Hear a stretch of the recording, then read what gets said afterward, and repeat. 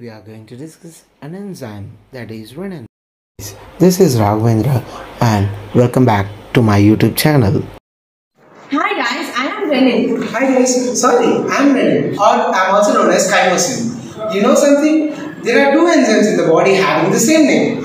One renin belongs to the kidneys. She is belonging to the kidneys, whereas I am belonging to the digestion of the milk or curd.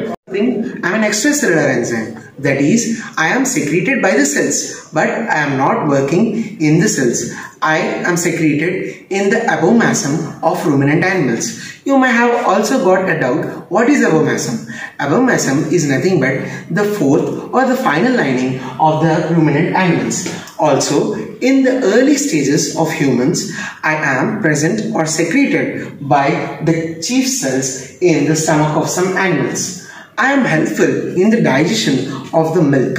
So now you have, might have known that uh, I am present in only the neonatal stomach of ruminants of cattle, goat, animals, but I am not present in humans and chimpanzees because am, my activities gene is inactivated in them. Now you may have all known about the EC number. My EC number is 3.4.23.4. 3 means I belong to to the group of hydrolases. 4 is I act on and peptide bonds, so I am a peptidase. And 23 means I am belonging to the group of aspartic endopeptidases, whereas 4 is the variety or the serial number of me.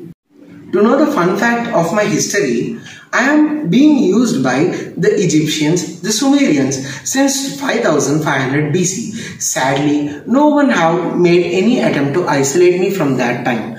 I am being used in the making of cheese, curd, etc. So now for the part of isolation, Dr. Jean Baptiste Deschamps have made some estimations to extract me.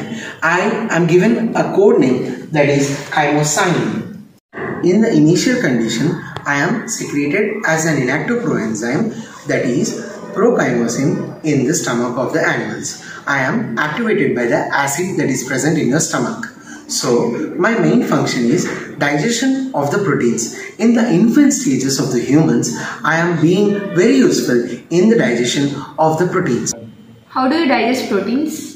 For you, in order to understand how do I digest the milk, you need to know about the casein proteins. There are four types of casein proteins alpha S1, alpha S2 and beta and kappa. Now alpha and beta proteins are easily precipitable by calcium. You all know one thing that milk is having higher levels of calcium. So the calcium precipitation of alpha and beta is relatively higher.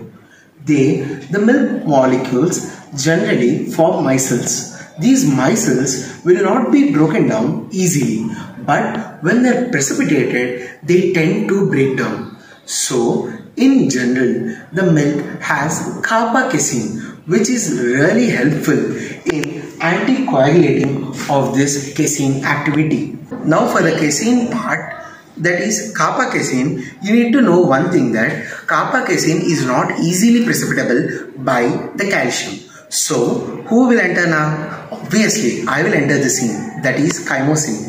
Chymosin will help to break down or to convert the casein, kappa casein, proteolytically into para kappa casein. Now, since there is no chance of para kappa casein to again convert the milk into its original liquid form, I successfully broke down milk and have coagulated into curd.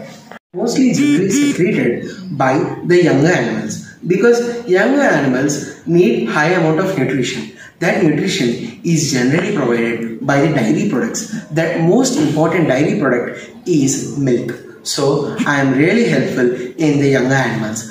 But do you know something? I am also an industrial enzyme. The most of the modern day industries which you are observing right now are working because of me. For the conclusion part, I would like to tell you one thing that if you have not discovered an enzyme like me, chymosin, the modern days industries and the leaders of the nation like Amul, Vizag Dairy, all the dairy industries would have been collapsed. For more informative content, please like, share and subscribe.